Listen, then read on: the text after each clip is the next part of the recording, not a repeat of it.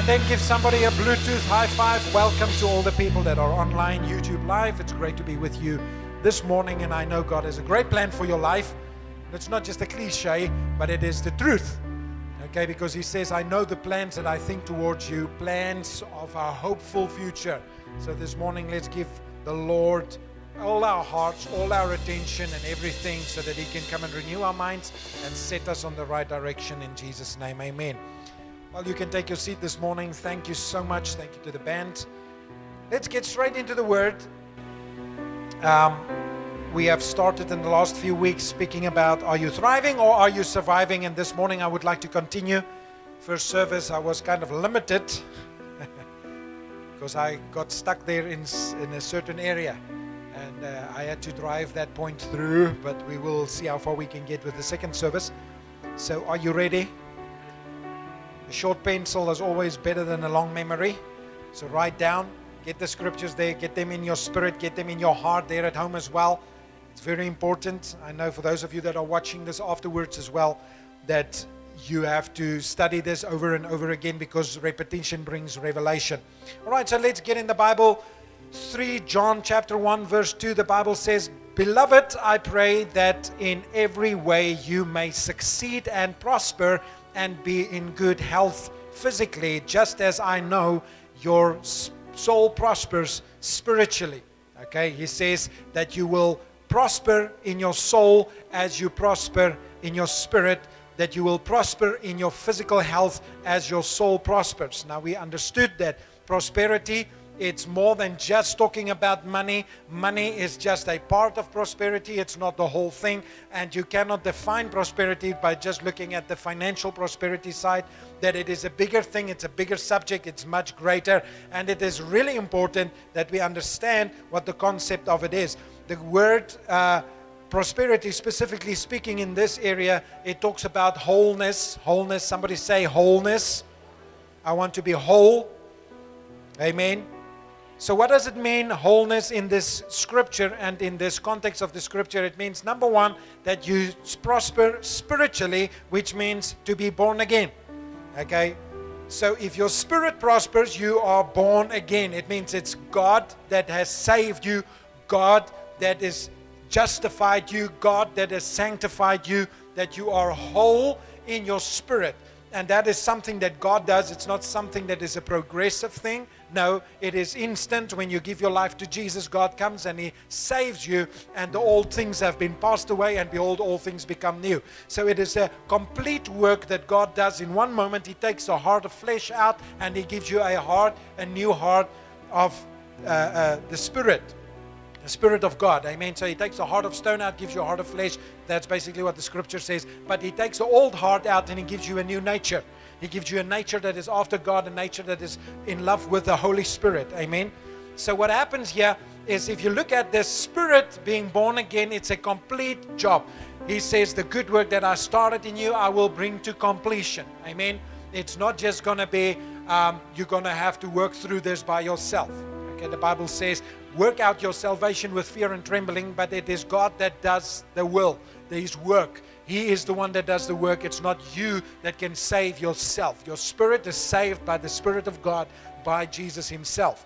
Now, your soul is a different story because your soul has to go through a process of renewal. It has to go through a process of being saved. So, your spirit is saved, your soul is being saved, and one day your body will be saved in heaven. Amen. Your new, uh, new life that you will find, your new body that you will get, your glorified body in heaven. Amen. So the Bible says that spiritually you are born again. And then in your soul that you may prosper just like your spirit is prospering. Amen. So by the renewing of the mind.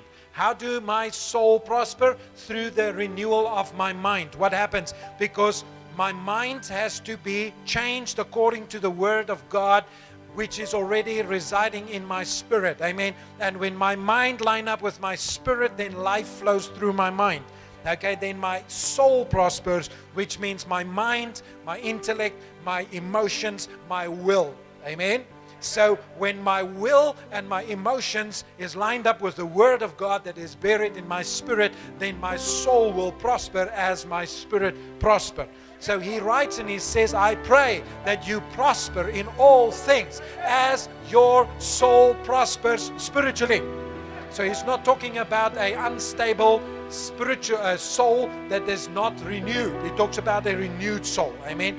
And then physically, your body, when your body prospers, what happens? Your body is in health. He says, I pray that your that you prosper in all things and be in health, so that your body is in health. That means that you are physically in your body prosper, prospering. And then it talks about the marriages.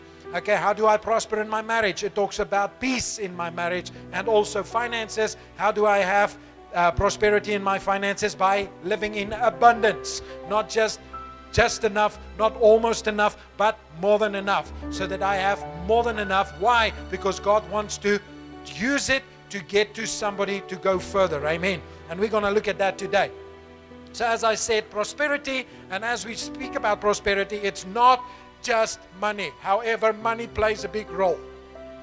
Okay, so I start off with the whole thing about prosperity, living in wholeness, because the same principles of one counts for the other.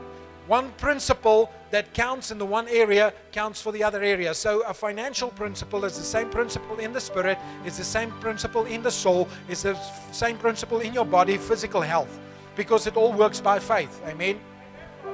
It all works by faith. So we have to understand the kingdom concept of this. Now, I'm going to look at this in the whole, the principle, but then we're also going to apply it to the financial area. Why? Because there's two things that people never want you to talk about in the church, and that is money and sex. Okay? Why? Because it's the flesh. Okay? So, as soon as you start to talk about that, then suddenly people want to get a heart attack and they don't want to talk to you about it or they want to fight. Okay? No. These are the two things that we have to teach people about. We have to teach our children. We have to teach them. We have to show them the right way. Otherwise, the world will give them a perverse and a, a crooked way. Amen. So let's look at something that I looked at a while ago, Genesis chapter 26, and let's look at the principle because it's about the principle. So the Bible says in Genesis 26, now taking the history, Isaac is in a place where it is dry, it is the middle of the desert. Okay, well, not desert as much as it looks like the Kalahari. We've been in uh, Israel and we've seen exactly the place where Isaac did this sowing, and it basically just looks like the Kalahari. Okay, so um, they didn't have rain. It was drought. It was dry. It was difficult. It was a double season of drought. So they had double drought. Now, if you take this back into what happened earlier in Genesis when Abraham was in the same place and he had to sow in the same place, then what happened? He said to God, God said to him, You can sow or you can use another alternative. And he said, Well, I'll use the other alternative because it's too dry to sow. And it was just drought. And then he decided to move to Egypt. And when he got to Egypt, they stayed in Egypt and God supplied for him in Egypt. But now here comes Isaac, and Isaac is the son of Abraham, and Isaac is at the same place with the same choice, but this time it's double as difficult. Usually works like that. So he comes there and it's a double drought, which means it's really dry. And he gets there and he has got the same choice to make as his father. And then when he decides to do this, what happens? God speaks to him and he says, Isaac, you can sow in this land or you can do like your father. So he consulted God first and he said, God, shall I go like Abraham to Egypt? And God said, No, you need to change this in your generation. You need to have a personal relationship for yourself. You cannot live on your father's revelation. You need to live on your own revelation. You need to have an encounter with me. You have to use your own faith, even though your father is the father of faith, but you've got to use your own faith, Isaac. And I want you to sow in this time where it is difficult, where it is really difficult, where there is double drought, and I want you to sow. And believe me, and I will show you. And this is what the Bible says. And Isaac sowed in the land. He didn't leave, he didn't go to Egypt, he sowed in the land and he reaped in the same year a hundredfold. In the middle of the desert, in the middle of drought, he now harvested a hundredfold, hundred times. That is a good, successful harvest. Now, listen what it says. And the Lord blessed him. He reaped a hundredfold, and the Lord blessed him. Now, there's a whole sermon in that. He reaped a hundredfold and the Lord blessed him. The word blessed means to be empowered to prosper. To be empowered to prosper. God gives you the ability to prosper. God gives you the, the ability to gain wealth. God gives you what you need to be successful. Not the world, God gives you what you need to be successful. Now, listen. So he says, and God blessed him. God empowered him to prosper. Now, listen. And the man began to prosper. And uh, he continued prospering. And he became very prosperous. Oh, I love this. Because it is escalation. When God's blessing comes, it comes to bless you, it comes to empower you. You start to prosper, you become very prosperous, and you are, or you continue to prosper and you become very prosperous. But there are principles because of this, because God is not a respecter of person, He is the respecter of principle. Are you listening to me? God is not the God of the uh, special people. He, he, everybody is special to Him. We are all special to Him. It doesn't matter what your skin color, it doesn't matter who you are. You are special to God. Everybody is equal. But His principles, He says, I am a respecter of principles. If you abide by my principle, my principle will work for you. But if you do not abide by my principle, it will not work for you. Amen. So, what happens? People want to live God's best, but they want to live it their own way. Whatever you believe God for outside of God's will, you're going to have to live in without His will. Whatever you want outside of God's will, you're going to have to stay out of His will to keep it.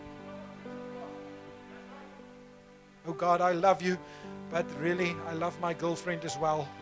And God, I don't want to get married. I just want to have the fruits of marriage.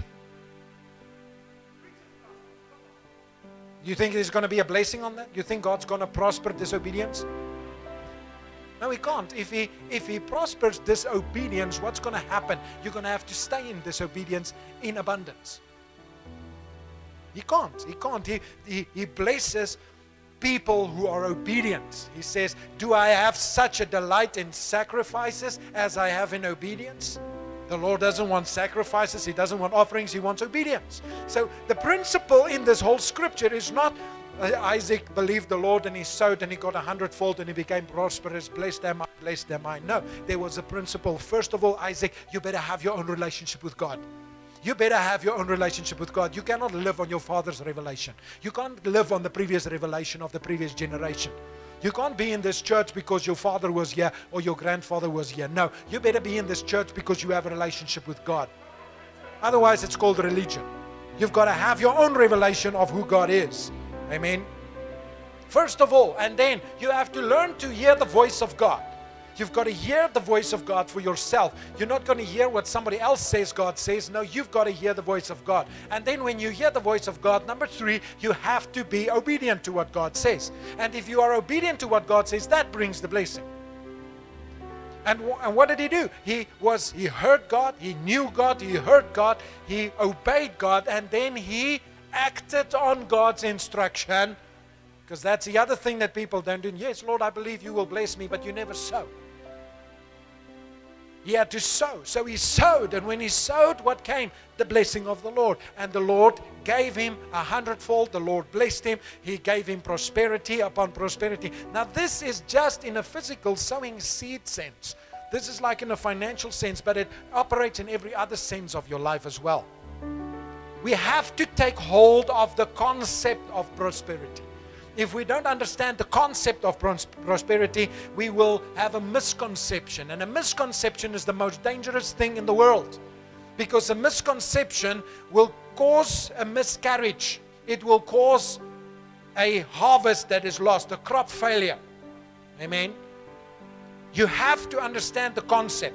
You don't want a misconception. You have to get the whole concept. So the pretext, the posttext brings the context. You have to understand it in, in, the whole. So when we talk about prosperity, you can't just talk about the financial aspect of it. You have to talk about the spirit, the soul, the financial, the marriage, and the, the, the every other area. It's the whole pizza. It's not just one piece. And it's not the pizza without the piece of finances. It's everything. You've got to get the whole thing. So when we understand the concept of prosperity, then we start to understand that yes, we are prosperity preachers because prosperity is about the goodness of God, it's about the love of God, it's about God's hope for you, His future for you, for, for what He wants for you for the future. Amen. So the Bible says that we have to understand that I want you to prosper as your soul prospers spiritually. Spirit, soul, body. Spirit, soul, body, marriage. Spirit, soul, body, marriage, finances. It flows out from the inside out. If you are prosperous on the inside, you will be prospering on the outside. We need to understand that God has a specific intention. If we don't understand the concept why God wants us to be prosperous, so the, you first have to settle this in your mind that God wants you to do well. Stop walking with the thing that think, as uh, the poorer that I am, the holier I am. No, you have to understand that God wants you well. God wants you blessed. God wants you to prosper. God wants you rich. God wants you to have a great marriage. It's like we, we pray, God, you keep him humble, we'll keep him poor. When it comes to the church and the pastor and the, the ministry. Huh? It's like people have this concept that a preacher is just there because he is too weak to do anything else. He's too lazy to do anything else. So he just goes and lives on the offerings of other people. What a devilish thing. What a demonic uh, thing. No, no, that's not the truth. A proper pastor is one that has given his life for the sheep, a shepherd for the sheep. So don't judge people just because you one flake. We need to understand God's intentions when it comes to prosperity. Why does God want me rich? First of all, God wants me rich. Thank you for the three amens. Hallelujah. God will make you rich and He will add no sorrow to it. God wants us to be rich and He wants us to be prosperous. Now, if that's too difficult for you to understand, then I don't know why you are serving a poor God and you want to go poor through life and you want to struggle because there ain't no blessing in being poor. There's just struggle and there's strife in being poor. It's a struggle all the time, and you become a burden to everybody else. Nobody wants to be a burden to anybody else. But there are principles. It's not just God's going to bless me and all the money is going to fall out of heaven. No. I need to teach you the principles. The principles because God is the respecter of principle. So let's act according to the principle, and God will bring in the riches. But there is an intention. God has an intention. He's got a motivation. He's got a motive why He wants you to be rich. So most people hear this and they get the revelation God wants me to be rich, and then they stand there and they just get rich and they don't understand why God is blessing them. They don't understand why God is making you rich. God makes you rich for a reason. God prospers you for a reason because it's what you do with it. It's the stewardship that comes with it. I mean, So, what's God's intention? God wants us to be rich and prosperous, but He wants us to be responsible with it. Don't be irresponsible. What does God want to do with my riches? Is it mine? No, it's His. He gives me the ability, which means ultimately it belongs to Him. I have to work it, I have to keep it, I have to steward it, I have to make it, I have to do whatever else. But ultimately, if God says, now thank you, I need it for something else, then I have to say, Yes, sir, you are the Lord of my life, you own me, and if you say it, you have it. Amen. So God has an intention. What is His intention? A pure motive, a good intention. Why? He wants you to be blessed because He has others in mind. He's not just thinking about you, but He's thinking about everybody else that you represent. As a company, your company, God wants to bless your business. Why? Because He's thinking about all the other people that are employed that also need to get a great salary so that they also can be a blessing to their people. So God doesn't increase the business to enrich the CEO. No, God enrich the business so that they can employ more, more people, that they can bless more families, that more people can reach out and make a difference. Amen. So his intention, he, has, he gives you money for a mission, not just for survival, but for a mission. He wants you to thrive and not just survive. He wants to give you more than enough. Why? Because He has got a greater plan. And what is the greater plan? We looked at that last week. He wants you to build the house of God. How do we build the house of God? Twofold physically, building the building to gather the people, to make a difference, to be an, ambass- uh, an embassy of God in the community, but also spiritually to go out and preach the gospel and get more people saved who are the temple of the Holy Spirit so that more people can carry the presence of the Holy Spirit. That is why he wants the money there. Why? Because money enables you to do things. Money enables you to do things. Money gives you power. I don't think so. Some power. But it doesn't give you all the power. Uh-huh. But it gives you ability to do things, to be able to pay, to go somewhere. You need petrol to go and preach.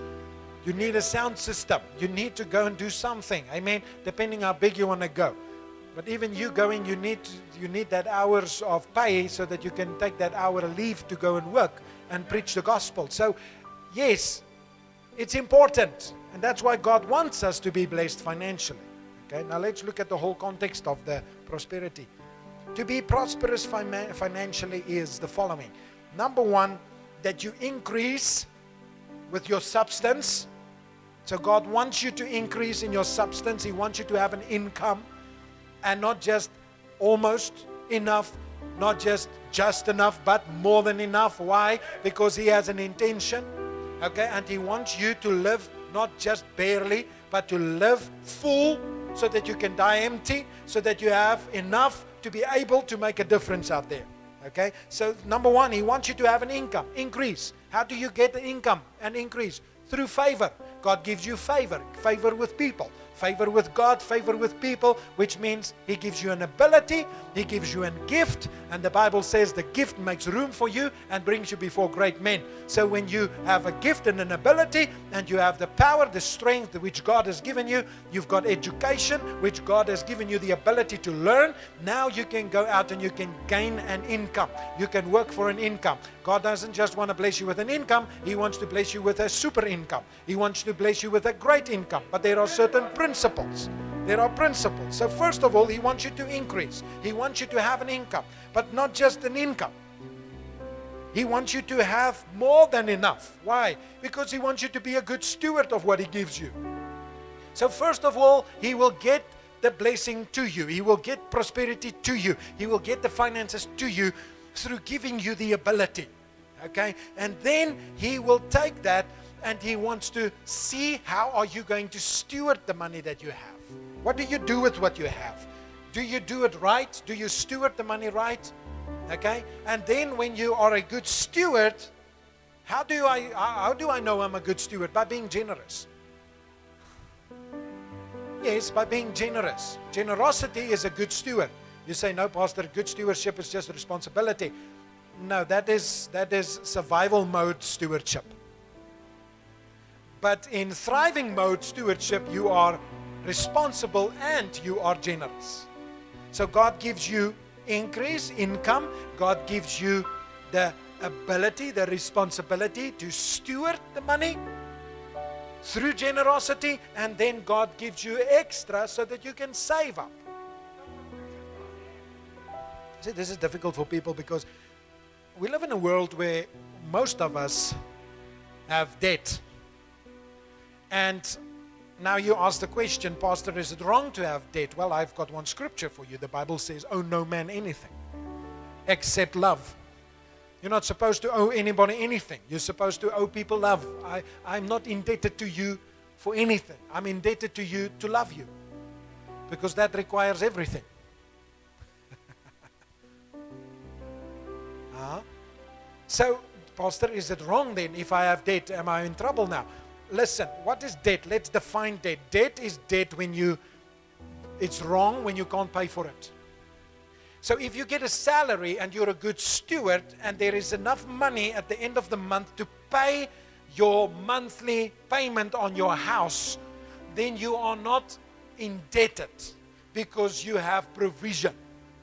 And if you have provision for that, it means you just have a contract and you're not in debt. You, when you are indebted, it means when you cannot pay. Now you are in debt. Okay? So we have to explain the biblical context of debt. Okay? To understand what it means. So I don't want to get in debt in the way that I've got my salary, the end of the month comes, and then I can pay everything. That's fine. That is good. Okay, but now I don't like my job, so I quit my job. But I know I've got my house to pay. I know I've got a car to pay. I know I have my school fees to pay. I have to buy food and all of that. Is that right? Now I become the servant because I'm in trouble now.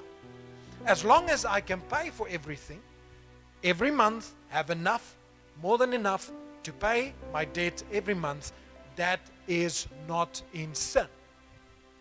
Okay? But you say, Pastor, it's still debt. Yes, it's still debt.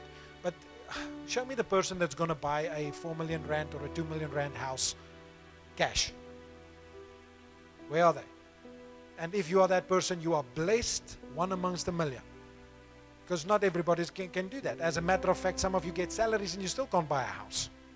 Why? Because the bank tells you you're going to be so deep in debt that you can't pay back, you're a risk. So you don't want to be a risk in debt.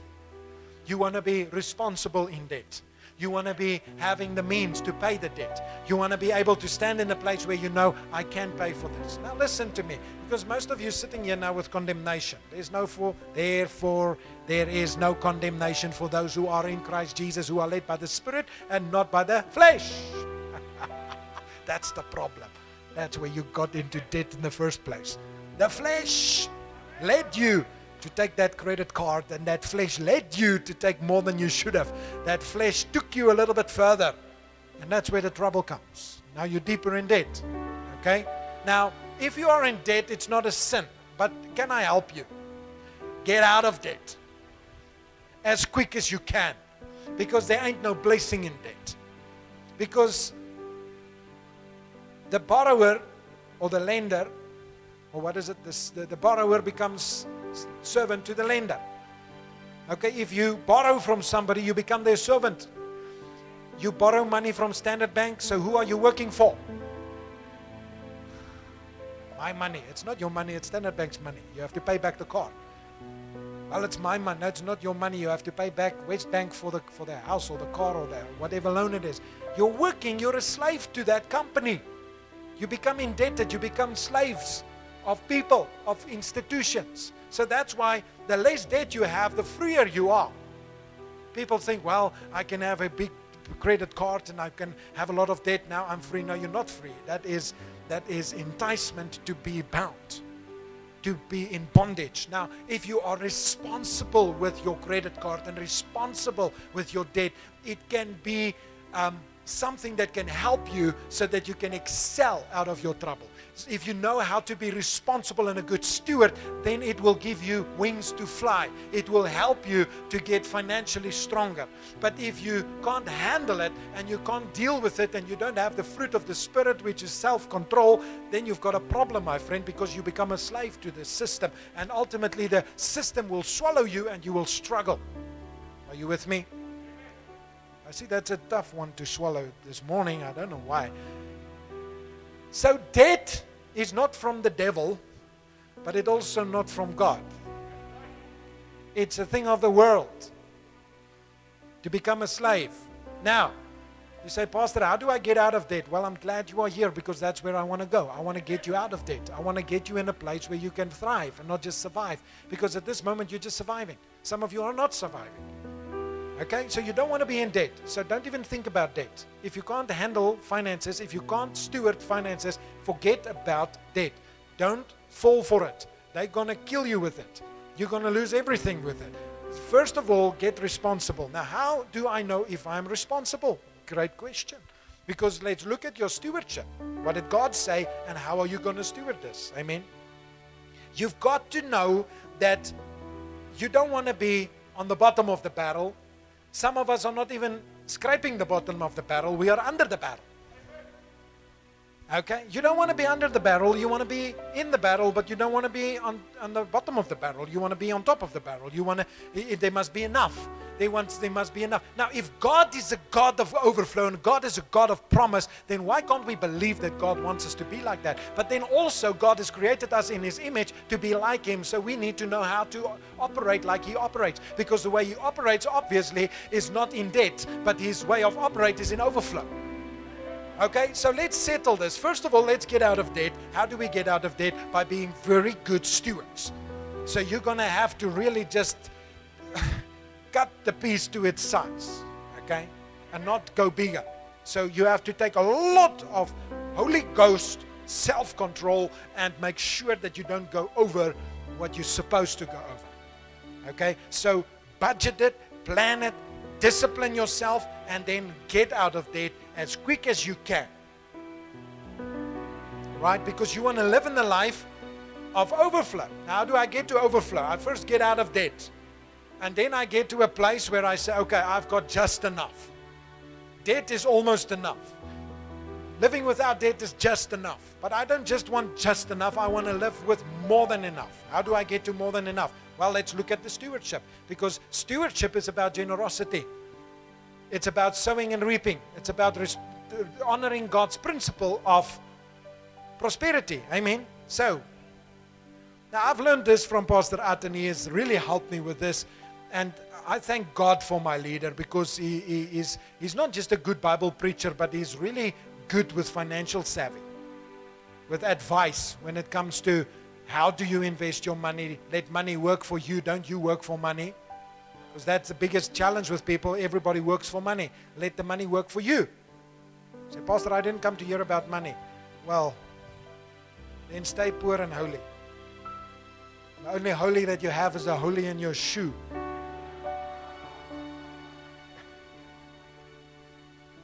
Okay, so he taught me this, and I thank God for this from great leadership. And he taught us as pastors. And if it wasn't for this principle, we wouldn't have made it financially during these last two years. We wouldn't have. Because he taught us. He taught us. He said, if you want to run a CRC like I run a CRC, you'll, you'll run it according to these principles and even better than this. This is the basic. But there is a higher level as well. So I'll give you the basics. You, you get by on the basics, and I'll teach you the higher levels so that you can survive and not just survive but thrive.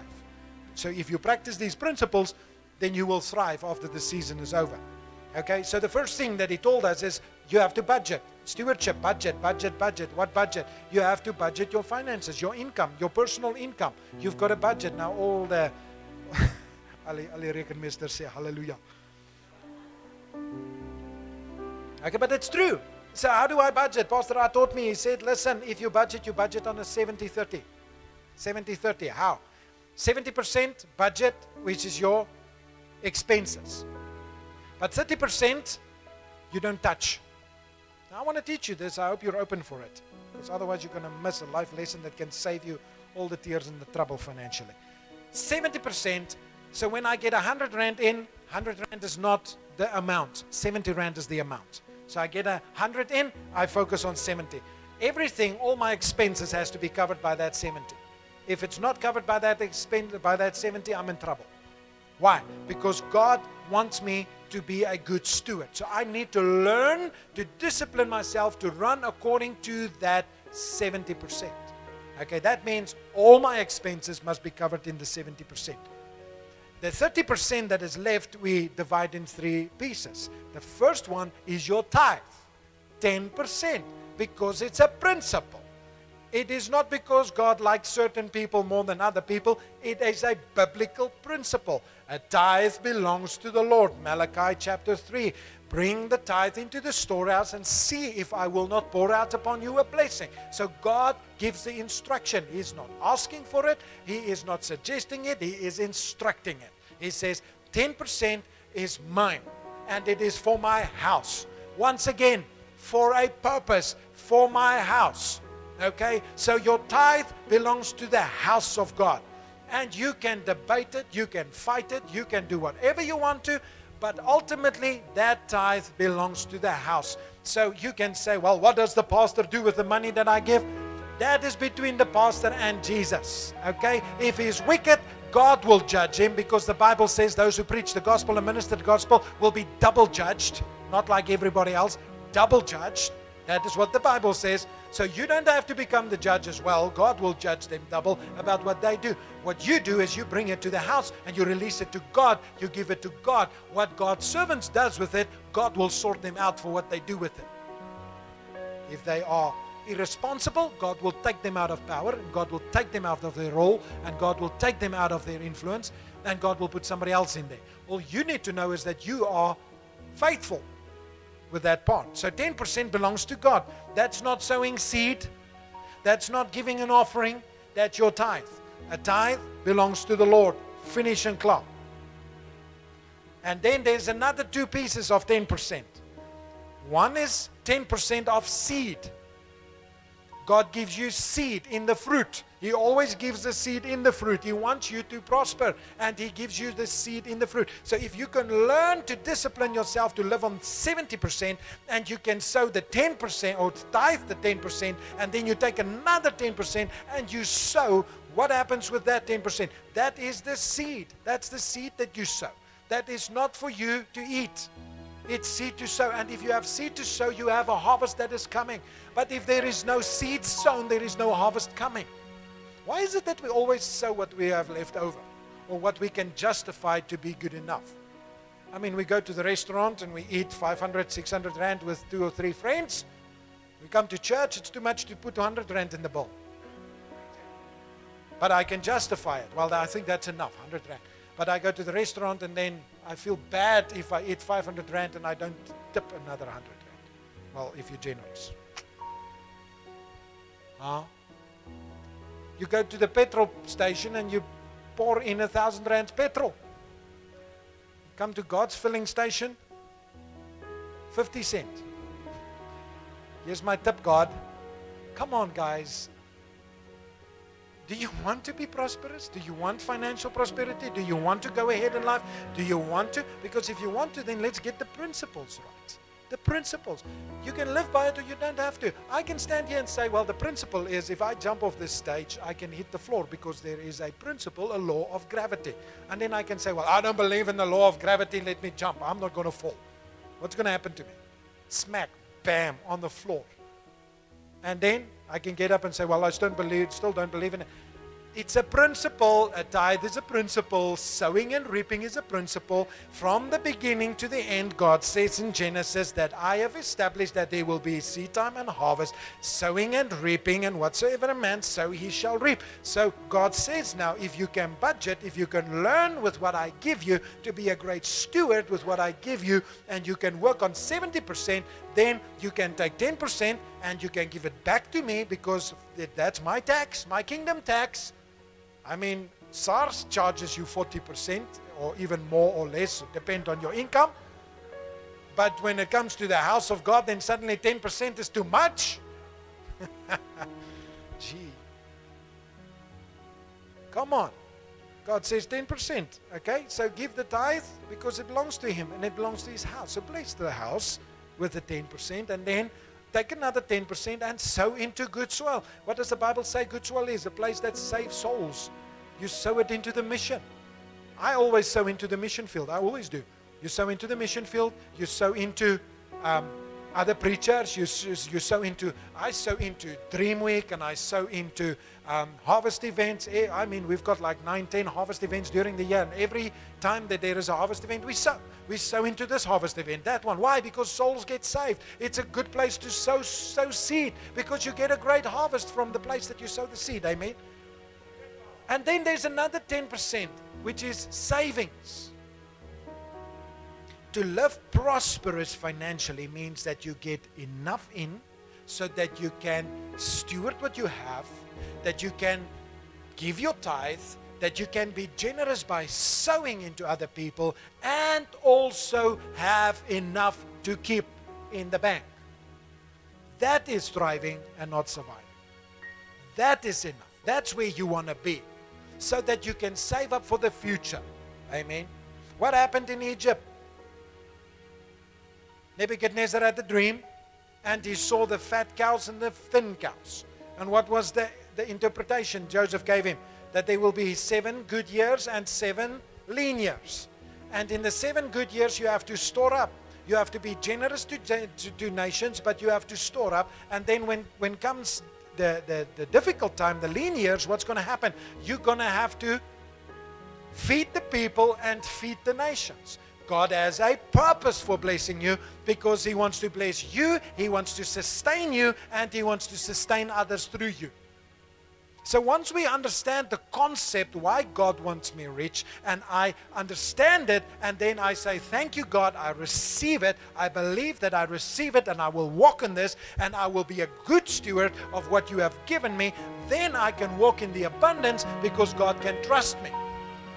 God can trust me that I'm going to give my tithe. God's going to trust me that I'm going to sow. God can trust me that if He says, go give to that person, bless this one, bless that one, that I'm going to do it. God can trust me with my children's education that I will pay the school fees. God can trust me by giving me a house that I can pay every month. God can trust me by giving me more increase and give me a car so that I can pay it back every month and I can be an increase.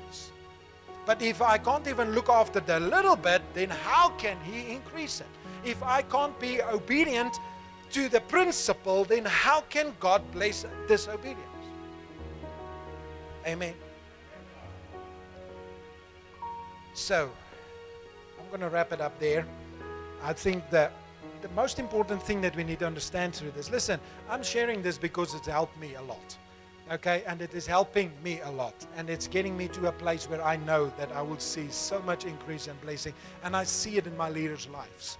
Okay not to be haughty not to try to be rich not to try to drive the nicest biggest fanciest cars things like that. There's a greater purpose. I mean we are building we, we, we're buying the land now we are building the building. Do you see me splashing around with finances now on myself? Uh, i still wear the same suit as last year I don't buy a new one every three months now. No, that money goes to the building, to the land. I'm not buying a new car now. I bought an old car now because I could have said, no, I want a new car now. Now I bought, a, bought an old car because I need finances to the building. So there's a greater purpose. Stewardship. Okay, so the question is do I want to walk in financial prosperity? Then I better be able to listen to the message. Okay? And I'm not going to just stand here and tell you, give and it's going to come back and everything is going to be blessed and hallelujah. No, there are principles that makes this work. It's like it's like giving, and I want to end up there today because I have to start next week with this. This is very important. Is that when you sow, when you give, when you give a financial gift, that there is something that has to accompany the seed, the physical seed.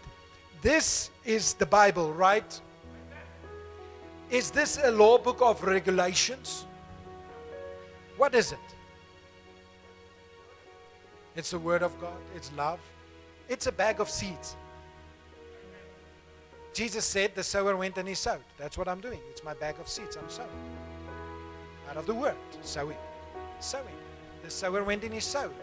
And the seed fell upon different pieces of soil hard soil, rocky soil, thorny soil, full of issues, good soil. I'm not saying you are. I don't know, maybe that was prophetic. I think more pathetic than prophetic. Any case. so this is seed. We sow the seed. We sow the seed. And where the seed falls in the heart, it will produce. When you listen, this is what Isaac did. He had a relationship with God. God gave him an instruction, and then he had a revelation of what God said. He knew that God said, Sow, and I will look after you. And he sowed. So he believed the promise, but he first took the promise, a hold of the promise, and then he buried the promise in his heart. And then from there, what happened? He took that promise, and when he sowed the seed, he sowed it with faith and he sowed it with a confession. He named his seed. You don't just sow seed, you don't just throw seed, you name the seed. And I want to encourage you that every single time that you sow, that you call the harvest by name when you sow the seed. So even if you sow, you can sow for so many different things. You can sow for a job. You can sow for a breakthrough. You can sow for uh, for a financial increase. You can sow for a for a for uh, for healing. You can sow for your marriage. They are seeds, and you can physically take the money and sow it and say, Lord, this is my money. This is my seed. It represents my marriage. Lord Jesus, I take this now and I confess the word. But because, Lord, you said that you wanted to be peaceable in my house. You want me to be happy with the youth of, or the, the wife of my youth. So, Father, I take this seed and I sow a seed into my marriage. I give it to you, God, and I expect a harvest of peace, of righteousness, of calmness, of goodness, of mercy in my marriage. Thank you, Father. I declare by your word that whatsoever a man sow, that he shall reap. I sow money, but I expect a harvest in my marriage. I can do it with healing. I can do it with any area of my life, but I have to name the seed.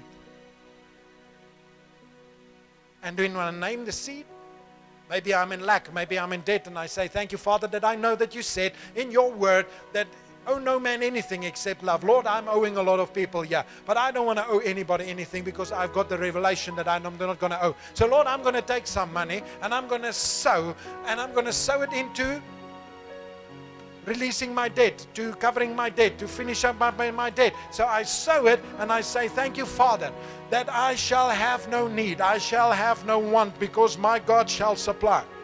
And you sow, and you expect the harvest. Amen. It's simple. You have to take the word seed, accompany it by the physical financial seed, put the two, because money is dead, it can't produce. But the word of God is alive. And this life can come on that dead seed and bring a loving harvest.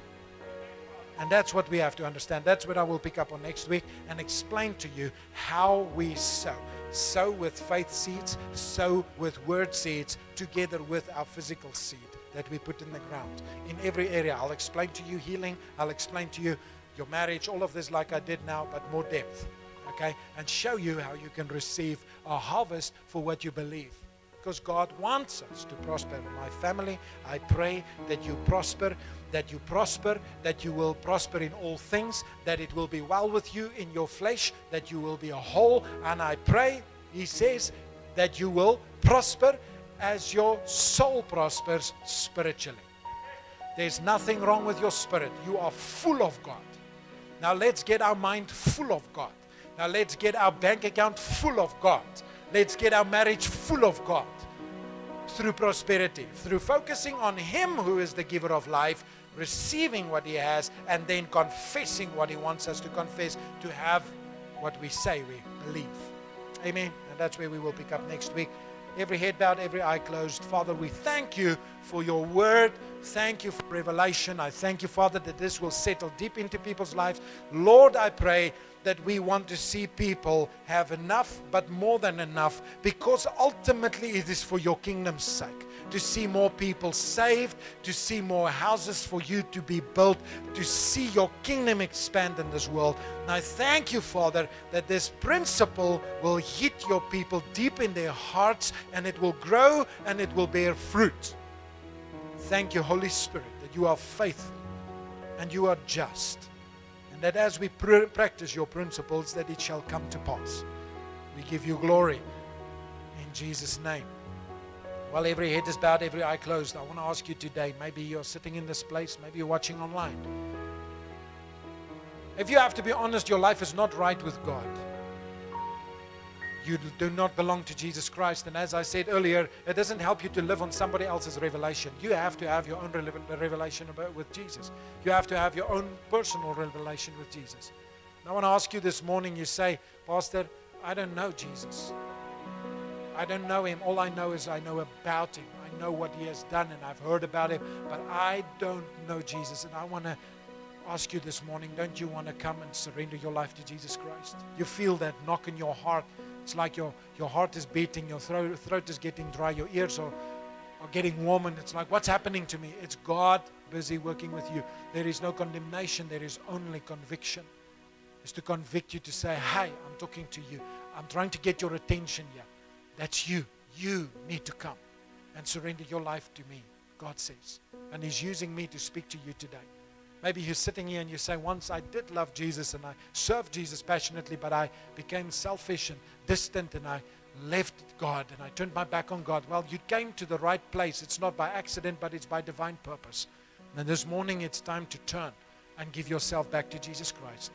So while every head is bowed, every eye closed, if that is you, you say, Pastor, that's me. I want to give my life to Jesus.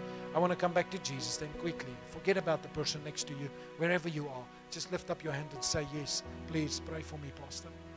Please pray for me. I want to give my life to Jesus. I want to come back to Jesus. Thank you back there. Anybody else? You want to be part of this prayer? You say, Please, I want to give my life to Jesus. I want to come back to Jesus. I want to surrender myself completely to Him. Come on there online, right here in this venue. You haven't raised your hand yet, but you know I'm talking to you and you know you need to surrender your life to Jesus today. Then quickly, just lift it up. Forget about your wife, your husband, your father, your mother, whoever is with you, your boyfriend, girlfriend. Forget about them.